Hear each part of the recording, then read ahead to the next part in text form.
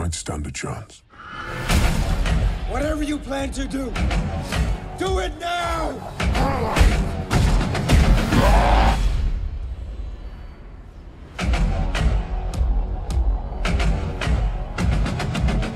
Всем привет, друзья! Вот наконец-таки я и записал очень актуальный обзор на фильм Warcraft. Так уж сложилось, что в Украине премьера Варкрафта состоялась только вчера, а в России фильм идет в прокате уже две недели. Но это еще не самое смешное. Самое смешное то, что в США премьера фильма состоится только сегодня. Такой вот незамысловатый график получился. Страна-создатель фильма увидит фильм одной из самых последних. Ну да не об этом. Итак, долгожданная игровая экранизация Warcraft. Начну, пожалуй, с того, что со вселенной игры я почти не знаком. В свое время я играл в Warcraft 3 Rage of Chaos и не одну сотню часов провел в Warcraft 3 Frozen Throne. Фрозутрон была моя первая игра на моем первом компьютере, и я все еще помню то незабываемое чувство, когда я с Сеги и с Дэнди пересел за ПК и запустил Warcraft. На протяжении нескольких лет я играл только в него. Но на этом мое знакомство со вселенной и закончилось. Новых частей больше не выходило, а MMORPG я вообще терпеть не могу. Обхожу этот жанр стороной и настолько его ненавижу, что даже эпичные трейлеры к World of Warcraft я почти не смотрел. А учитывая тот факт, что последний раз я запускал Warcraft более 10 лет назад, кроме коронных фразочек о вселенной Warcraft я не помню ничего. Так что мое мнение все-таки относится к той категории зрителей, которые сидя в зале недоумевали от того, какие фразочки порой произносили фанаты серии. О, да это же тот самый, помнишь его? А это вон тот. Блин, вообще жесть. О, как круто, это же он. Вы понимаете, о чем говорят все эти люди? Я нет. В общем, фанаты вселенной удовлетворены по полной программе. А вот критикам фильм вообще не зашел. Ну, критики они говноеды от природы, им лишь бы что-то обосрать. Читая негативные отзывы к фильму, каких только идиотов я там не встречал. Находятся даже такие, которые говнят фильм только потому, что там мало юмора. Как будто он на комедию с придящими шутками пришел. Есть еще такие, которым не понравилось то, что орки слишком реалистичные. Слишком, блять, реалистичные орки, Карл. Но лично я к критикам всегда относился как к дебилам. Ну, над настоящими дебилами смеяться нельзя, это ж болеть все-таки. А вот над такими поржать само удовольствие. К слову, таких хейтеров в игровой индустрии тоже до хрена.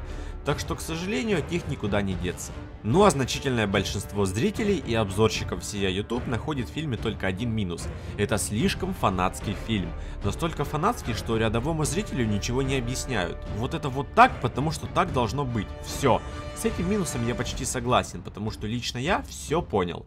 В тех рамках, в которых был показан фильм, для меня абсолютно все логично и понятно. И это с учетом того, что о вселенной игры я ничего не знаю. За весь фильм я не совсем понял только вот этого мага.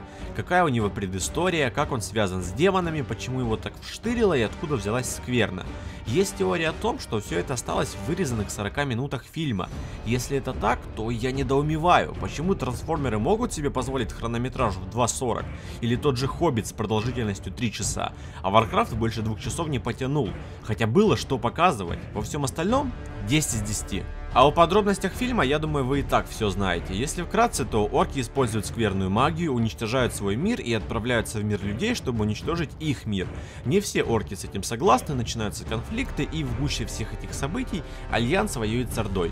Сюжет хороший, повествование отличное, актеры отличные, орки 10 из 10, визуальная составляющая шедевральна, экшен шикарен, все супер. А вид камеры в некоторых сценах сможет даже вызвать скупую слезу ностальгии. После просмотра такого фильма теперь нам нужно только ждать продолжения. Продолжение точно будет, в этом можно даже не сомневаться. Фильм соберет огромную кассу.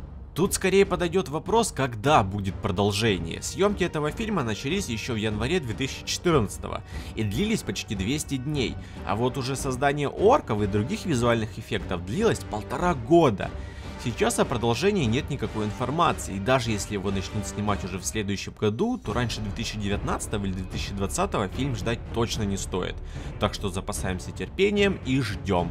Подведем итоги. Могу ли я назвать Warcraft лучшей игровой экранизацией? Да, несомненно.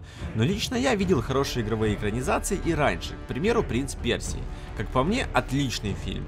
Doom. Я до сих пор не понимаю, почему его так хейтят, ведь его можно было полюбить только за эпичную экшн-сцену от первого лица. В те времена это было прям вау.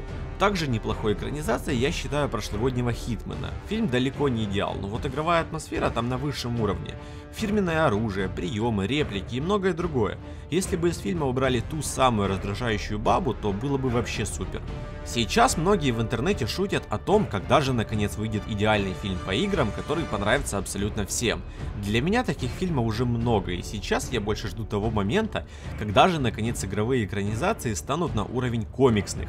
И их будет много, они будут выходить часто, и ими можно будет брать и обмазываться. Пока что на этот путь стали только Ubisoft и запустили в производство целую пачку игровых экранизаций. В ближайшие годы стоит ожидать Ghost Recon, Splinter Cell, Watch Dogs, Assassin и уже вроде бы подтвердили, что в экранизации The Division главную роль сыграет Джейк Джилленхол. Ну а на этом все, ставьте лайки, подписывайтесь на мой канал и оставляйте комментарии со своими впечатлениями от фильма, да и вообще о игровых экранизациях в целом. Всем удачи и пока! За моего отца! На нас напали! Орда победит! За честь! За честь и отвагу! Удар молнии! Жалкие людишки уничтожены! Жизнь за Нерзула.